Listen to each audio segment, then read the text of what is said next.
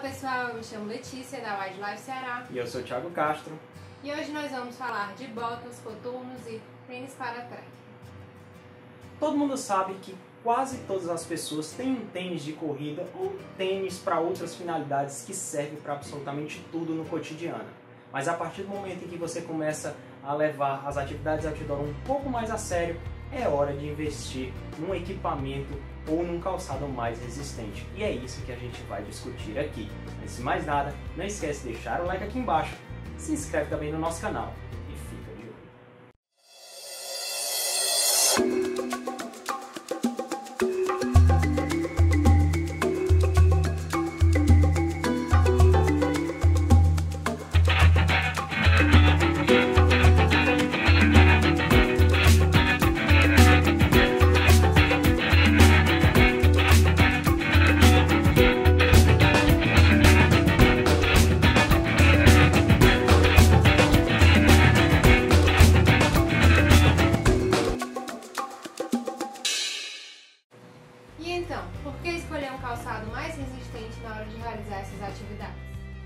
primeira questão seria a segurança. né? Primeiro, você, ao utilizar um calçado próprio para isso, você evita que você tenha torções, acidentes, escorregões, ferimentos e acidentes com animais peçonhentos.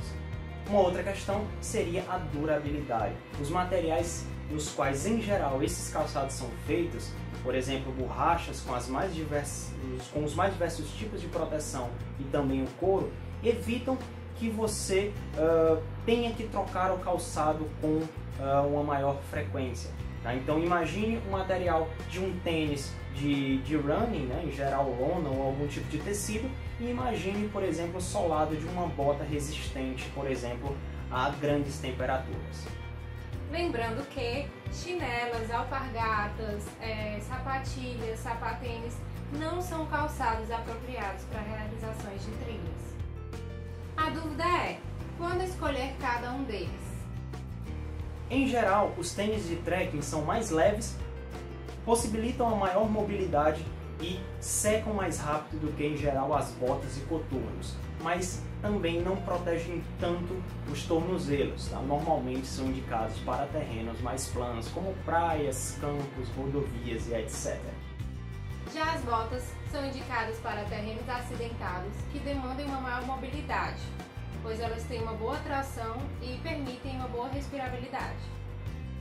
E temos também os coturnos, tá? que em geral são mais pesados. O cano mais alto permite que você esteja um pouco mais protegido em relação a picadas eh, de animais peçonhentos e também em relação a torções de tornozelo. Contudo, você tem uma dificuldade um pouco maior de secar esse calçado. E eles também não têm a mesma mobilidade eh, de, por exemplo, uma bota ou um tênis de trekking. E quais são os tipos? Nós temos as botas de segurança, ou aquelas voltadas para o trabalho. Nós temos as botas de trekking, que são aquelas mais comuns para atividades outdoor. E nós temos também as botas militares ou táticas. Daí essa também vai ser uma forma de categorização de coturnos e a gente vai especificar as principais marcas e também o que você deve procurar em cada uma delas agora em seguida. Bom, o que procurar num calçado para trilhas? A primeira questão seria a respirabilidade, a capacidade que o calçado tem de evaporar, por exemplo, o suor que você produz ali né, nos membros inferiores, nos pés, para que você não fique com a meia ou mesmo com solado e a palmilha molhada.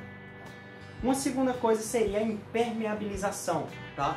Vários calçados têm, e hoje em dia até num preço mais em conta, outros não, que é a capacidade do calçado não ah, permitir que a água entre né, ali dentro, tá?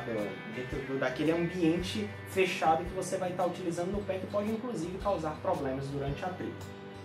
Blaqueação. Para quem não sabe o que é blaqueação, ah, de uma forma bem resumida, seria exatamente a costura que tem aqui, que une o solado com o cabedal do calçado. tá? Então, blaqueação é essa costurazinha que passa por todo o entorno aqui do solado, unindo essas duas partes. Isso evita que, ao longo eh, de poucos usos, se você molhar muito a bota e etc., esse solado venha a descolar, tá? o que é muito comum nas botas de trekking. Outro ponto são os passadores. nós temos esses de aço inox ou até os de polímeros. Esse daqui eu não sei se ele é especificamente de polímero, tá? Deixa eu ver, acho que talvez seja de polímero, mas esse com certeza é de, polímero, inclusive articulado. Tá? Então, atualmente, normalmente esses de polímero são mais resistentes, tá? porque você evita que, de acordo com tanto o, suor, o contato com o suor como também com a água, isso daqui vem enferrujar e simplesmente sacar fora da bota, ou simplesmente torcer e quebrar. Outro ponto importante também é o solado solado resistente a calor. Como é o caso, por exemplo, desse coturno aqui. Tá? Esse aqui é um solado Amazonas. Né? Então, é, ele é resistente até, salvo engano, 300 graus Celsius. Tá? Então, por exemplo, para quem trabalha em contato com materiais inflamáveis ou mesmo com superfícies muito quentes, isso daqui é muito bom para que você não tenha problema de, por exemplo, você pisar em um determinado local e os solados da tua bota simplesmente derreter e sacar fora. E aí a gente fez uma lista aqui das principais marcas, daquelas mais conhecidas. A gente tentou colocar várias aqui, de, também de diversos tipos. E dentre aquelas classificações que a gente colocou, né, a gente vai falar um pouquinho daquilo que a gente sabe, daquilo que a gente já ouviu falar e daquilo que a gente conseguiu verificar sites de vendas, compras e etc. Tá? Então vamos lá, Letícia vai começar e a gente vai colocando um pouquinho daquilo que a gente sabe em relação a essas botas e a essas marcas. Bom, a primeira marca que a gente pesquisou foi a Caterpillar. É, e o primeiro ponto que a gente colocou sobre essa marca é para tomar muito cuidado com as falsificações. Hoje é muito comum você encontrar botas da Caterpillar falsificadas, tá? vendidas por um valor muito abaixo. Os valores são é, medianos, né? de baixos a medianos, vai de 200 a 400 reais. E é uma bota que possui um CA, que é aquele certificado de autorização. Então é uma moto que vai permitir que você tenha uma segurança maior nas atividades que você realiza. A segunda marca seria a Timberland, tá? A gente viu algumas reclamações, principalmente nos sites de compra, de pouca impermeabilização. Né? Então, a bota que entra água muito fácil, sobretudo pelos materiais né? nos quais ela é composta. Uh, materiais frágeis, então normalmente solado, que descola muito fácil, um cabedal que arranha e às vezes racha. Né? Eu já vi casos, por exemplo, de pessoas que não lavaram a bota logo assim que chegaram é, de campo, o que é um erro, claro, né? mas que com pouco tempo o, sol, o solado da bota estava todo rachado, ressecado. Né? Uh, e por e conta disso acaba tendo um custo-benefício ruim. Né? Sim, então isso é um problema e que já não é uma bota que é tão utilizada uh, nas atividades, né? outdoor, assim, é, é, acaba sendo um, um, produto que não vale tanto a pena investir como você tem outras marcas atualmente. A próxima marca é The North Face. Tem valores um pouco mais altos, aliás, bem elevados, em torno de mil reais. É, ela costuma ser utilizada por usuários mais avançados, até mesmo pelo valor do investimento, mas pelo que a gente pesquisou, são botas muito boas. Né? Então são equipamentos de altíssimo padrão para quem pode investir mais e quer realizar trilha, muitas trilhas e um usuário avançado, né? É. vamos assim. A outra marca seria a MacBoot, tá? Valores baixos, ali por volta de 300 reais. Uh, materiais e uma construção relativamente frágil, então assim, às vezes você não tem certos cuidados, como por exemplo uma certa o uso da blaqueação, que é, que é muito básico, que outros Hoje em dia outras marcas com valores até mais baixos utilizam e isso evita que a bota se desgaste com tanta facilidade. Outra marca é a Salomon, é, tem valores altos também, em torno de mil reais, também utilizado por usuários avançados. Por conta disso, ela tem uma, uma resistência muito grande. Sim, e juntamente das botas da The North Face são duas marcas que disputam ali quem realiza trilhas aí, aí é, de estilo aí de, de Everest, é, Diamantina, enfim, aqueles trekkings bem avançados. Botas Vento, a gente não conseguiu tantas informações, mas a título de valores, ela tá aí com valor mediano por volta aí de 500 reais, aí você encontra ali na casa dos 400, 600 reais. Outra marca é a Snake, é uma bota é, nacional, mas com preço de importada, em torno de 500 reais. Também não encontramos muitas avaliações, então não podemos falar muito a respeito da bota, mas conseguimos, conseguimos passar para vocês esse valor. Outra marca que a gente encontrou e que, em geral, é uma ótima opção de entrada para quem está iniciando aí as trilhas e etc, tá? são as botas Eco Safety. Tá? Elas, em geral, variam ali de cerca de 90 até no máximo 200 reais e o mais importante é que elas contam com um certificado de aprovação. Tá? Então, nesse caso, é uma ótima opção para você manter a segurança durante suas atividades. Uma marca também que não é tão conhecida, mas a gente deixa também é, registrada aqui, são as botas Bretão ou Bretão Boots. Tá? Normalmente elas têm um valor bem abaixo é, de mercado, o que não significa que sejam botas ruins, tá? ficam ali na faixa de 200 reais aproximadamente e também são um ótimo custo-benefício para quem está iniciando trilhas uh, e atividades outdoor. Outra marca é a Quechua, que é conhecida pelo seu conforto e os valores estão na faixa de 400 reais. Lembrando que a Quechua também é uma marca que envolve uma série de outros produtos, principalmente mochilas e uh, vestuário em geral ligado a atividades outdoor. Bom, uma marca a qual eu tenho, foi a minha primeira experiência utilizando botas de trekking, etc, tá? Foi a Bull Terrier, que é essa Fox Terrier que eu tenho aqui. Tá? Em geral, elas ficam aí na faixa ali de 200 a 300 reais, então são valores relativamente baixos. Contudo, são botas que em geral pesam bastante. Tá? Então essa bota aqui, para vocês terem uma ideia, pesa mais do que esse coturno que eu tenho. Uh, em geral, falta blaqueação, então é uma bota que costuma entrar água muito fácil e com algum tempo de uso começa a descolar o solado. Tá? Então é interessante que assim que você adquire, se ela não tiver blaqueação, você já mande costurar, por exemplo, no sapateiro.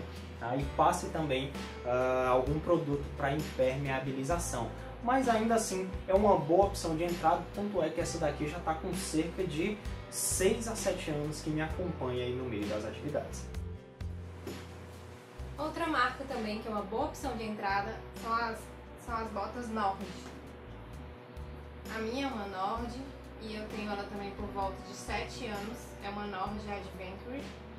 Ela tem essas entradas que acabam por ser uma desvantagem, porque quando eu utilizo ela em algum ambiente tem água, entra bastante água dentro da bota, isso acaba por desfavorecer o modelo.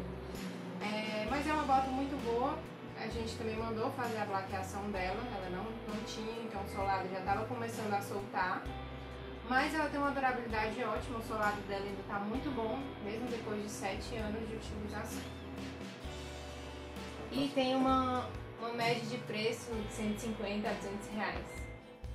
Um calçado que é muito conhecido principalmente por praticantes uh, de airsoft e outros esportes de ação são as botas Air Step. Tá? Para quem curte essa pegada mais tática, que são essas três últimas marcas que a gente vai falar, a Air Step é uma bota simplesmente sensacional. Tá? Ela tem um valor relativamente do baixo ao mediano, então varia ali de 300 até 500, 600 reais, tá? mas é uma bota que dura anos. Tá? Normalmente são feitos em materiais muito bons e resistentes, Tá? E para todo mundo que curte um pouco mais essa pegada de coturno, de cano um pouco mais alto, de maior proteção é, e de maior também segurança para o tornozelo, vale muito a pena. É um ótimo custo-benefício. Temos outra marca também que é muito boa e tem um custo-benefício muito bom é, devido aos seus feedbacks.